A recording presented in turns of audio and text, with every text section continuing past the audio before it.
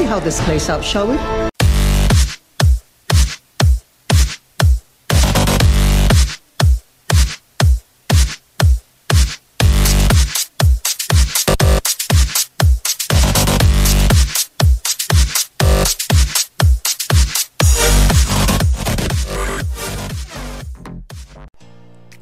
Hey everybody, what's going on? UltimatDJz here with another Talking Trek video, and today, maintenance underway and the launch of patch D23. What does it bring? We're going to give you everything right now. First, please subscribe to the channel if you haven't done so already. Click the little bell notification, like this video, and leave your comments below so that we can answer those as we go through. Lots of information coming your way, so get ready. Buckle up. Here we go with D23. Let's first start with what people care about the least. I'm kidding, I'm kidding. I know some people actually really enjoy the avatars, really enjoy the frames. So let's take a look at those first. We'll begin here with the avatars and a couple of new avatars being launched here with this patch that you will be able to earn throughout the arc. First, Veteran of the Klingon War. A very interesting, actually a very cool piece of artwork there. I actually really like that avatar, and I'm not really a big avatar guy. We also have Call of the Empire, earned from a specific Call of the Empire event. Uncommon Officer Tilly. Yes, Tilly is making it into the game. And uh, we take a look here at the Distinguished Service avatar. Again, a very nice looking avatar there. I'm digging the new and original artwork, and of course, the epic avatar, Officer Philippa Georgiou. Let's take a look over here at the frames. We got a new uh, couple of frames coming into the game this arc with the Gold Discovery emblem frame,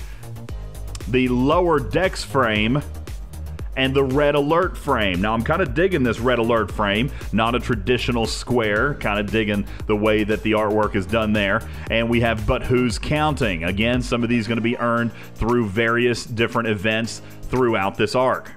Now, as you just saw a second ago, we are getting a few new officers, three new officers this patch. Let's take a quick look. We're going to begin with Uncommon Officer Tilly. Yay! I love Tilly. I love the Tilly character. I especially love Captain Killy, for those of you who have watched the series. Let's take a look at her first Captain's Maneuver. At the start of combat, when defending from a player attack, Tilly decreases the opponent's shield health by 10% of its starting shield health actually sounds like a very fascinating captain's maneuver. Perhaps a base defense officer removing 10% from the shield automatically. I kind of like that ability in a ship in dock. Let's take a look at her officer ability. Again, lending itself to base defense. Every time the ship is hit by an opponent's weapon attack, Tilly has a 30% chance to decrease the opponent's officer's attack by 15%. And this is a cumulative or a stacking ability. Now remember, reducing the officer attack stats won't result in no attack if you get to 100%. It reduces the attack as you go because the officer's stat bonus will decrease, therefore decreasing the overall weapon damage. You're also going to reduce the stat bonuses. What you will eventually reduce to zero is the attack bonuses if you go long enough. They actually really, really captured her likeness here. I really like this officer card. Next officer is Rare Stamets. See the mushroom spores floating around his head?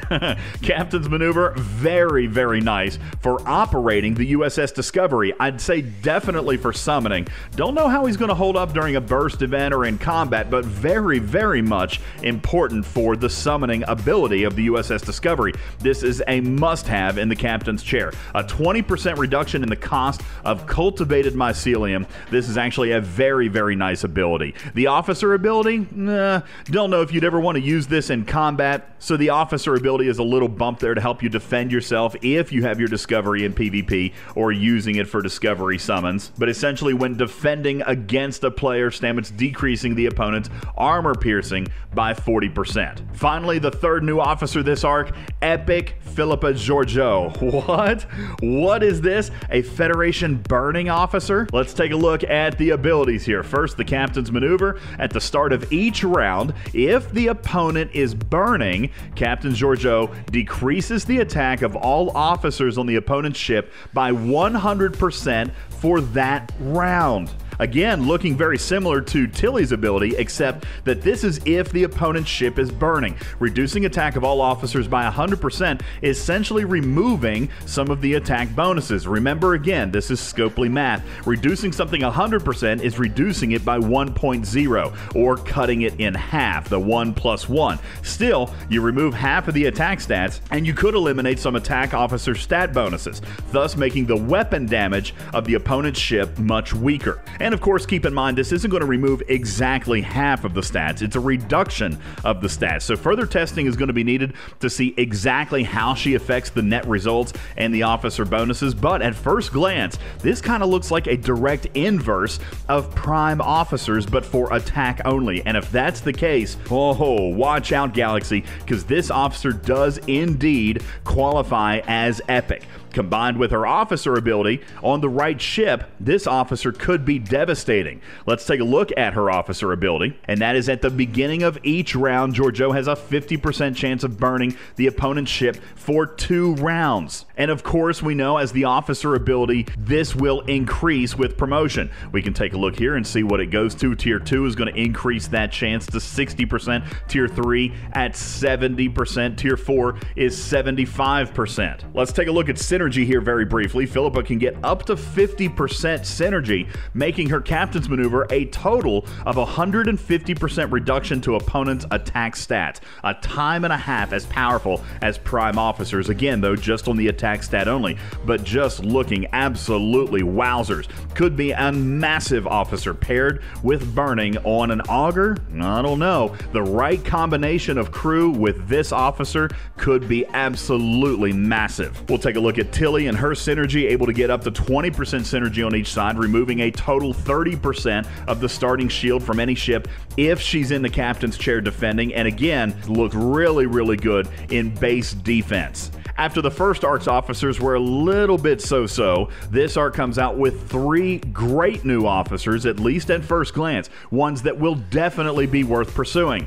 P.S. In the patch notes for D23, we read that Saru is now fixed as well, making him even more valuable from the first arc that he's working correctly, as well as a cumulative crit chance reduction officer. Some good stuff with officers coming here, guys. You'll note that these three new officers are all Discovery crew, making them synergize with Epic Burnham and Rare Saru from the last arc. Now for the meat and potatoes, what you've all been waiting for the research, the new research nodes in the Galaxy Tree for the USS Discovery. These will present themselves in the Galaxy Research Tree, and what I'm seeing here are four new nodes. This is a cultivated mycelium jump efficiency, going to reduce the amount of mycelium used per jump or per summons. As we accurately predicted, summoning ships is going to use cultivated mycelium, but now you have a chance to reduce that cost with this research. This research not costing uncommons, which is good, but common gas, which is not a big deal,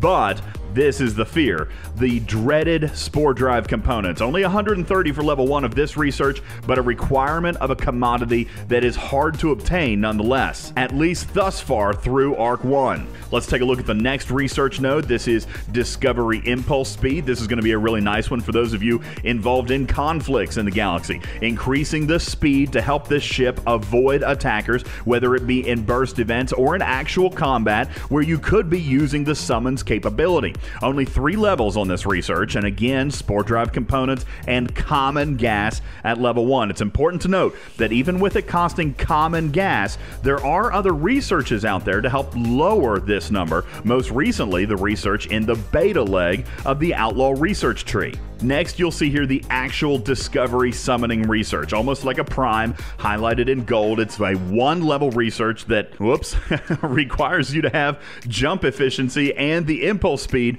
maxed in research. So we can't even complete the Discovery summons until we max these first two nodes. Also, looks like, at least for summons here, we're going to have to have Ops 30 to unlock the summoning capability. So, despite Discovery being an Ops 21 ship, needing to get to Ops 30 to unlock some of her more interesting abilities. Let's fast forward here for a second and go over to the one that everyone's been hollering about, and that's Warp Range. Now, it looks like common gas and Spore Drive components so far. Let's click through a few of these researches. So far, all commons, uh, but Spore Drive components. Not a terrible number, but these are kind of adding up here. Uh, now, also keep in mind this warp range research is ops gated. In a moment, we're going to throw up a summary chart for research for the ops levels required and the general cost of this research. Remember, this is so important. This is not my account, and your dilithium and gas amounts will vary with the research you already have on your account. But this should be a relatively accurate estimation of the cost. For this particular account, it is a maxed level 39 account. So all gas and DIL research would be maxed for Ops 39. If you're not there, then these costs could be a little bit higher as far as the common gas and the dilithium. The spore drive components will remain fixed for all levels though through level 5 here, not looking too bad. And this is where we cap out. This particular account is not yet Ops 41. We'll show you a chart here in a second as to how it breaks down. Now let's go back and finish up the first two researches so we can take a look at summons and what it costs. Let's start with mycelium efficiency and punch through these as best we can. While we're at it, we can examine the cost. And again, this is going to be a bit higher for some of you because the research on this particular account, even the gas could be a little bit higher because of the gas research here. But again, again, being that it's common gas isn't really a terrible cost. So clicking through here, using a bunch of Latinum, and yes, again, remember, not my account, so I do not have 125 billion Latinum. Don't have to worry about that. Uh, let's see, how, how far did we have to go? Oh, yes, we have to max it. We have to max them out. Oof. Okay, let's continue. Uh, keep clicking through. We see here we're going to just speed click this a little bit. And again, all of these costs been itemized on a chart that we're going to share you here in just a moment. Click, click, click. Okay, so everything is maxed, and now we can unlock summons. But summoning, clearly launched in this arc, is to be a pay to progress type model, at least for this arc, which isn't wildly unexpected. Some folks will pay to unlock this this month, while others are going to grind it out and take a little bit longer. Now, we're told that not only will the burst events function differently this arc, but that Spore Drive components will be issued with a higher frequency for players participating, which is very, very welcome news as we get to take a look at our summary charts here in just a second. Before we do, I'd like to take a moment, just sit right there Get it? While we remind you that I would love to show you the actual function of Discovery Summons, but sadly it is going to require an app update, which we won't have until you have it. So hopefully we'll be able to share a video with you a little bit later in the day, a much shorter video to actually demonstrate Discovery Summons. Now, let's take a look at our summary charts. First one we'll take a look at here is the mycelium efficiency totaling 5,140 common gas, and again, could vary with your account. But what won't vary, what is fixed, is the 5,425 Spore Drive components. Yes, folks, 5,400. Uh, looks like just shy of about 6, uh, 6 million, rather, in dilithium. And you can see the benefit of the extra percentages added for each level of this research. You'll also notice that cultivated mycelium efficiency is ops gated. You'll have to be ops 23 to get level one, and then in uh, increasing by one level each one all the way up to number eight, where it goes to uh, Ops 30. Levels 8, 9, and 10 of this research, all unlocking at Ops 30, allowing you to finish maxing out this particular research. Now, again, just as a reminder, the benefit capping out at 50%. Remember Scopely math, that's technically a 33% reduction, and that's not actually a terrible research. If you're looking to spend and and if you feel like you could enjoy this arc, then that amount of Spore Drive components can be purchased with approximately a $100 pack. So to max this efficiency research out, almost maybe kind of technically acting like a prime in which about $100 can actually max this research node. Not terrible, and if you're in the mood to spend, then this actually can speed your progress. Let's take a look at the impulse speed here very quickly. It's only a three level research, and again, requiring a number of Spore Drive components, a total of 4,020. Again, a little bit less than a $100 pack, but you'd kind of have to have about another $100 pack to get the Spore Drive components to max this three level research out. Just shy of 3 billion in, or 3 million, I keep saying billion, 3 million in dilithium, but again, could be higher for some of you along with the common gas because of the research. And again, ops gated, ops 24 to unlock level one of this research, then 27 for level two, and ops 30 for level 3. Taking a look at the actual summoning now, which is a very, very small chart. We'll add it to this same screen here. Summoning costing 695 uncommon gas. And again, this number can vary because of the research on this account. So for some of you, it could be a little bit more.